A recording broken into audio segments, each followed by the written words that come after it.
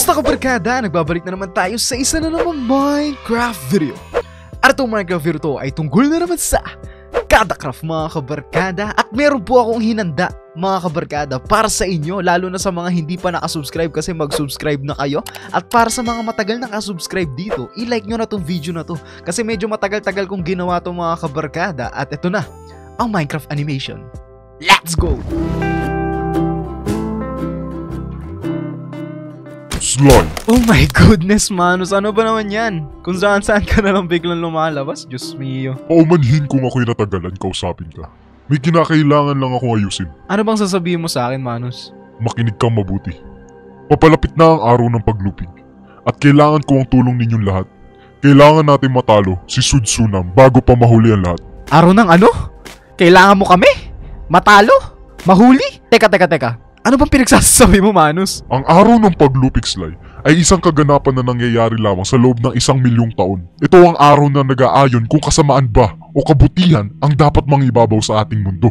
Kung hindi natin ito maaagapan, maaaring manalo ang kasamaan at lamunin nito ang ating pagkatao at maging dahilan para magtulak sa atin gumawa ng mga bagay na hindi natin kanais-nais. Kaya't hinanap kita, Sly, bilang tagapagtaguyod sa panahon ninyo para baguhin ang hinaharap para sa kabutihan.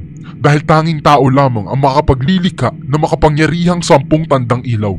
Ipapasa ko sa inyo ang larawan kung paano ito gawin. Sly, lagi mong tatandaan na itong gagawin mo, nasa kamay mo ang buong kapakanan ng buong mundo. Oh my goodness! Kagigising ko lang. Ano nangyari? Bakit parang nakatulog ako habang kausap ko si Manus Days? Ano to? Bakit may pra Bakit may build dito sa utak ko? Ah! Ito yung pinagagawa ni Manus Deus. Oh my goodness. So ito na pala yung mega build natin mga kabarkada. Binigay na pala sa akin ni Manus. Oh my goodness. Kaya tagal-tagal nating hinintay si Manus Deus ha. Lalabas din pala siya ng episode 50. Napakatagal niyan lumabas. Tapos...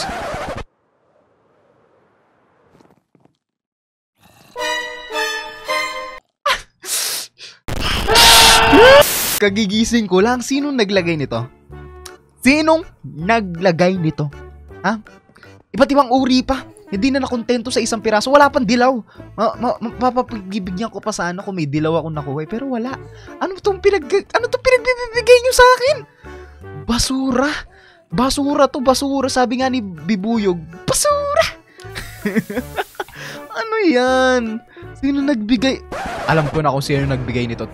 Alam ko na kung sino nagbigay nito. Teka, titignan natin kung totoo nga siya. Tingnan natin, tingnan natin. Panigurado, kilala ko na kung sino to eh. Isa lang naman ang nagbebenta ng glaze terracotta dito sa shopping district, no? Panigurado, no? Ha? Hmm? Nag-restock na ba siya, ha? Nag-restock. Ay, nag-restock na nga! At lahat ng kulay na nakuha ko doon, andito. Ah, ang galing, ha? Ang galing mo, ha? Nakakahiya naman, ha? Ilang stock to? Wait, ah. Hindi ko nabilang. 1, 2, 3, 4, 5, 6, 7, 8. 8. 8 stock. Hindi pa nga stock yan eh ha.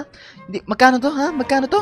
Magka, one diamond? Ha? Asan, asan na yung, ano, asan yung pera ko dito ha? Hmm? Nasa yung pera ko ha? Nag-mining ako ng diamonds para dito talaga eh. Para bilhin lahat to eh ha? Hmm? Gigigil mo ko eh. Eh, gigigil. Oh my goodness, hindi ko mailagay yung pera. Asan na, asan na? Asan? Ito yung nagagawa sa akin ng Glaze Terracotta. Kaya ayaw ko nakakakita niyan eh. Ayaw, ayaw na ayaw ko nakakakita niyan. At siguro mga kabarkada, para mahimasmasa naman tayo sa mga nakikita natin. At kung bago ka lang dito, mag-subscribe ka na. At kung hindi ka pa bago dito at hindi ka pa nakasubscribe, anong ginagawa mo? Mag-subscribe ka na dahil bibigyan kita ng time-lapse. Let's go!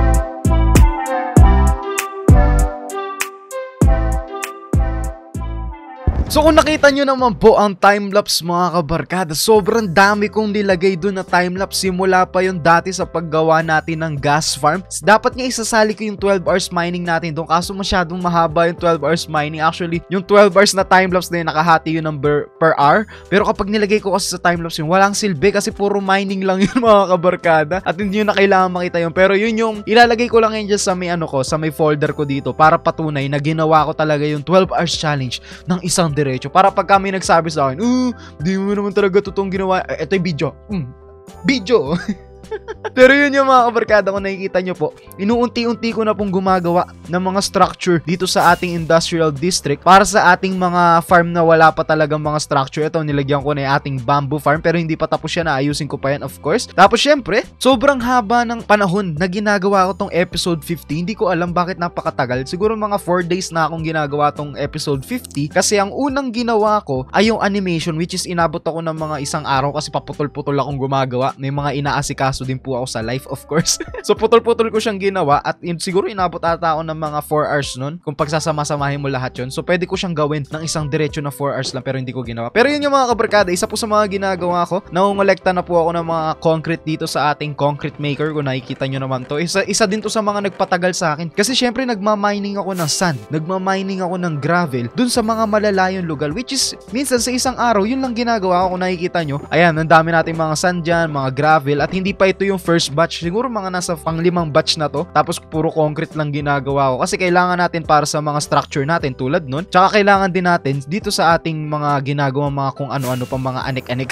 Pero yun yung mga kabargada. Isa din sa mga kailangan kong gawin ay tapusin na talaga to. Kasi gusto ko na talaga simulan yung pinagagawa sa atin ni Manus Deus kasi nga kung nakita nyo, sobrang laki pala nung gagawin natin. Actually, hindi nyo pala nakita. Ako lang pala nakakita kasi sa akin lang pinasa ni Manus Deus. At malalaman nyo na lang siya kapag pinanood nyo yung mga susunod na episodes mga kabarkada. Nung previous episode ng ating 12 hours mining ay tinanong ko kayo, ilang diamonds ang makukuha natin sa malapit ng 4 stacks na diamond ore. O di ba? Nakita mo yung ginawa ko doon? Malapit na 4 stacks. Kahit hindi ko alam ano ibig sabihin nun. Pero yun yung mga kabarkada. Hindi ko pa po na-upload yung video na yun, mga kabarkada. Kasi, ini-edit pa po yun ni Jaser at the same time mga kabarkada. Eh hindi ko po uploading day ngayon. Bukas ko pa po i-upload yun mga kabarkada. Pero magre-record na tayo kasi ganun tayo kalupit. At yung, tignan nyo na lang yung mga previews yung comment or kung naaalala nyo pa yung mga comment nyo doon. Ang diamonds po na nakuha natin sa 4 stacks na diamond ore ay 8 stacks and 3 pieces mga kabarkada with the equivalent of 515 diamonds mga kabarkada. Napakalupit! 500 diamonds ang nakuha natin sa 12 hours mining. O di ba? Kuha ko sa inyo mga kabarkada, ganun paraan na ako magma-mining. Kung hindi nyo pa po napapanood yung previous episode, ito po yung pagma-mining na ginawa namin. Ayan, oh, hindi na nag-load. Ano na nangyari? Masyado ba maraming tao sa server? Daming tao sa server, di na nag-load. Ayun, okay, nag-load na. Ayan, oh, tingnan nyo. Napakalayo niyan mga kabarkada. At nakakuha po tayo dyan ng 3 stacks and a half na diamond ore or 4 stacks. Hindi ko alam kung paano ko bibigkasin yun, basta yun. At kapag kinraft po natin yun, meron tayong 57 diamond block. Napakalupit. At kapag nilagay po natin yan sa collection natin ng diamonds, tayo na ba? Ang pinakamayaman na kada crop member? Naku po, napapaisip akong kung gaano kayaman si Master Zerk kasi palagi nagma-mining yun mga kabarkada. Noong nakaraang episode natin na gas farm, kumuha ako sa mining area niya ng stone. Syempre nagpaalam ako at nakita ko sobrang lawak ng mining area niya kaya hindi ko alam kung marami siyang diamonds. Kasi okay lang na kahit pangalawa lang tayo sa pinakamayaman, at least meron pa rin tayo nung title na pinakamayaman. Pero yun nga po mga kabarkada, ito na po ang panahon na kung kailan i-restock na po natin ang Shocking Shulker. So kukunin ko na po itong mga gold prices natin. At syempre, kukunin na rin natin ang ating mga common prices. Ayo nga pala, kung hindi nyo pa po alam, may mga laman po ito na ayan, dried kelp block which is very valuable yan mga kabarkada. White wool, ayan, meron po tayong ink sack, mga sand, mga totem of undying mga kabarkada, enchanted book, mga mending yan, mga unbreaking, mga efficiency 5 yung mga nilagay ko dyan. At syempre mga firework rockets mga kabarkada. Sobrang malala ang gagawin natin ngayon sa Shocking Shulkers mga kabarkada. Kasi marami tayong prices na maghihirap tayo talaga. Kaya ilalagay ko lang po itong mga kabarkada sa Shocking Shulkers at babalik po ako sa inyo. Let's go! So ayan na po mga kabarkada, nagtitipon-tipon na po sila, naglalaro po sila ng Shocking Shulkers. Kung nakikita ninyo naman po, ayan o, oh. ayan o, oh. tingnan nyo. Oh. Oo, papanayin pa. Uy, pinasa sa MC. Kung nakikita nyo, mukhang marami na tayong kinikita mga kabarkada dito sa Shocking Shulkers. Sa SS3 do. O, tingnan natin, tingnan natin. Uy, puti! Tingnan natin. Gold! Grabe yun, oh. Uy, unbreaking. May kumuha pa ng isang piraso. Sino yun? so marami din nagtatanong sa akin na, Kuya Sly, bakit ka po gumawa ng gas farm kung kailangan mo lang ng gunpowder?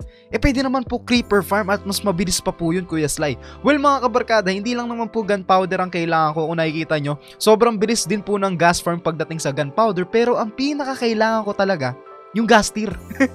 At ngayon lang ako nakakuha ng ganito karaming gas sa buong Minecraft experience ko kasi first time ko lang naman din gumawa ng gas farm. At ito, sobrang daming gunpowder kung nakikita nyo. 4 shulker boxes at may naiwan pa dun mga kabarkada kasi hindi na magkasya to kanina sa inventory ko at tatlong shulker box lang yung dinala ko. Pero ngayon mga kabarkada, ang ginagawa ko, ikakraft po natin sila bilang firework rockets mga kabarkada para ibenta natin sa STM. Kasi hindi pa tayo nakakapag-restock dun mga kabarkada ng rockets at oras na para mag-restock muli. At napakahirap nito i-craft kasi kailangan ko siyang manumanuhin.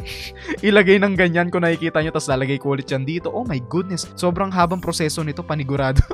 so, lalagay natin yan dyan, tapos lagay ito, tapos shift click, tapos lagay ulit natin dito. O, di ba? Paulit-ulit yung gagawin ko dito hanggang mamaya hanggang maubos yung gunpowder na to. so, yung tatlong shulker box ng gunpowder mga kabarkada ay naging ganito. Sobrang daming rockets ito at ibebenta po natin lahat yan sa ating STM mga kabarkada. At syempre meron din po tayo dito no atin. Syempre hindi, hindi pwedeng dapat benta lang tayo ng benta. Dapat meron din tayong para sa atin. O, so meron tayo dyan. At syempre siguro kuha pa ako ng isa tapos lagyan natin yan dyan. Tapos ito ibebenta na natin lahat yan sa ating STM or ST Market. O di ba? Payaman. At syempre mga kabarkada, kung napanood nyo na po sa ibang mga Kada Crop members, eh, na-sold out na ang ating shocking shulkers. Magandang ano yun. Tingnan nyo. oh.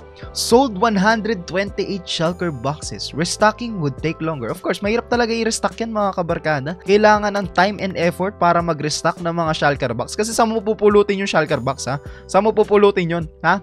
Kung nakikita nyo, wala na laman. At syempre, na na na na na na na na mala. Maraming diamond blocks. Yes, sir. Let's go. Ilan na, ilan na, ilan na. Boom! Kuya Sly, cheater ka, Kuya Sly. Sino ka ba, Sly the Miner? Bakit ka maraming 4 diamond blocks? Cheater ka. Bala ka. Pero ito na po mga kabarkada. Meron na tayong 4 stacks and 39 diamond blocks. Ang yaman na natin, pwede na natin bilhin yung buong shopping district. Nakikita nyo ba lahat ng shop na yan? Pwede kong bilhin lahat yan. Sabay ganun eh. Actually mga kabarkada, syempre, isa din pong perk kaya natin ginawa ang 12 hours mining challenge mga kabarkada ay syempre para i-restock ang ating rock shop mga kabarkada ang bentahan ng mga bato. O ba? At kung nakikita nyo, dinala ko po lahat ng ating andesite, andesite stone, meron pa tayo dito iba pa eh. Ayan, diorite, meron pa tayo ditong diorite ulit, meron ulit tayong granite. Dati ayoko ng diorite, pero napag-isip-isipan ko, siguro ibenta ko na nga lang tong diorite na to kung ayaw ko din, di ba? Kung ayaw mo, pagkakitaan mo. pero wag sa tao nyo gagawin yun ha. Wag ganun, mal- mali yun. So, i-restock lang natin itong mga kabarkada at balita ko marami daw bumibili ng andesite. Asan ba yun? Wala naman nagbabayad ha. Nakuha ko na ka, na, nakuha ko ba? Nakuha ko na ata yung bayad dito. at siguro mga kabarkada, sabihin nyo rin sa akin kung ano pang mga pwedeng ibenta dito na bato. Kasi marami pa tayong chest doon no, na hindi pa natin nalalagyan. So, wag naman yung sand tsaka gravel kasi kailangan ko po yun. Yung mga hindi natin kailangan na bato. So, isip kayo ng mga bato na hindi natin kailangan para dito natin ibebenta sa ating bentahan ng mga bato. At syempre, nakalimutan ko din maglagay dito ng mga puno. Siguro maglalagay na siguro ako para hindi na siya mukhang hindi pa tapos kasi mukhang hindi pa siya tapos eh. Kulang talaga siya ng puno. So lalagyan natin to ng mga punong may ilaw para wala mag-spawn ng mga mobs. So restock restock lang muna tayo pag may time para hindi mapasaraduhan ng munisipyo. hindi ko alam kung ako lang to pero anong kalokohan to?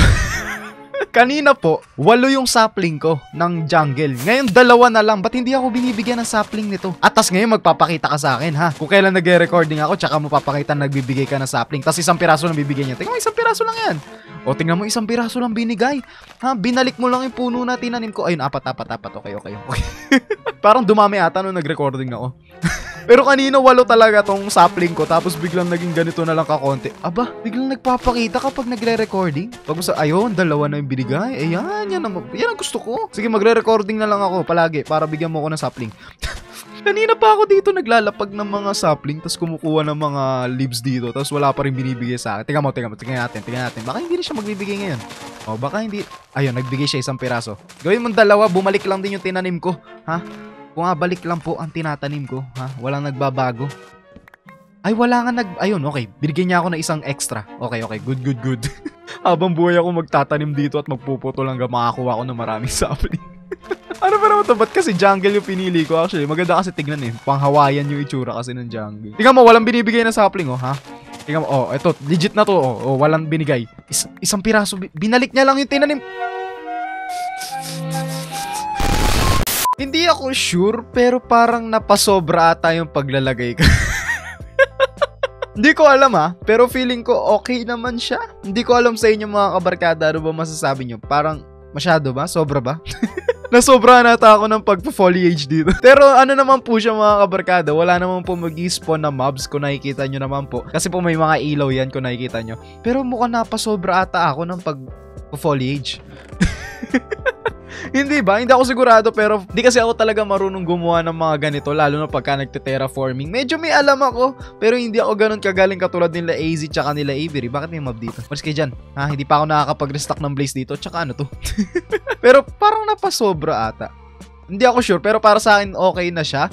Uh, hindi ko na lang alam kung sa inyo ay napasobra ba siya pero feeling ko okay naman kesa yung flat na lang siya na green lang dyan. At least meron ng ano, mga puno-puno, di ba? So may mga nagtatanong na rin sa akin mga kabarkada sa comment section, Kuya Sly, ba't hindi pa po kayo 1.17 sa kada crop? Well mga kabarkada, hinihintay pa po kasi namin maging stable yung 1.17 at sa pagkakaalam ko stable naman siya pero sa ngayon hinihintay din namin yung Optifine tsaka yung replay mode kasi syempre yun yung kalagi namin kasama kapag gumagawa ka ng, kami ng mga videos at the same time yun yung nakakapag-optimize ng game. At tsaka, kaya hindi pa kami nag-upgrade baka kasi masira yung world syempre kapag may ginawa na kami tapos may bug pala edi sayang lang yung mga builds namin mare-reset din. So as much as possible lilipat lang kami sa 1.17 kapag okay na ang lahat or sa tingin na namin pwede na talagang lumipat. So ngayon mga kabarkada kung nakikita nyo, uh, more or less puro shops lang po yung ginagawa ko ngayon kasi pagpaumanin nyo na mga kabarkada medyo mahirap po talagang gumawa ng animation at sobrang dami kong oras na ginu ginugol para doon. So, wala na akong time para gumawa pa ng mga kung ano-ano mga major builds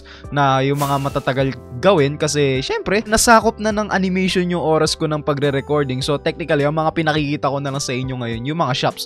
Para sa next episode mga kabarkada, balik na tayo sa dating gawin natin na pag-upload ng mga builds natin or mga farms na ginagawa natin. Nako, nagamit ko lahat nung kaya ayoko minsan nagsasalita habang may ginagawa ako. Nagamit ko lahat ng ano ko, Eyes of Ender.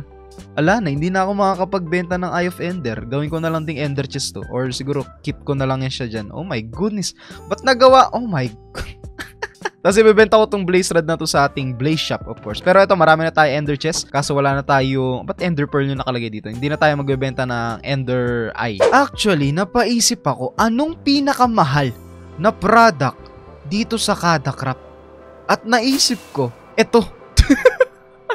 At sobrang dami nating pera mga kabarkada. Kaya na natin bilhin lahat ng tinitinda niya dito. Eh, mag, ilan to? Anim? 15 dayas, kayang-kaya kong bilhin lahat. Tsaka saan yung ender chest nyo? Give me my money. Where is my money, ha? Uh, this is my money. Ano ba mga phantom? Huwag kayo magulo. Ha? Nagre-record ako dito. Nagre-record ako dito. Masisira na yung bow ko. Nagre-record ako dito. Huwag kayo dito. Asan ba yung bed ko? Ito na ba? Yung pinakamahal na product sa kada craft? Very basic naman. 1, 2, 3. 15 times 3. 45. Very basic. Oh, boom! Bayad ka agad.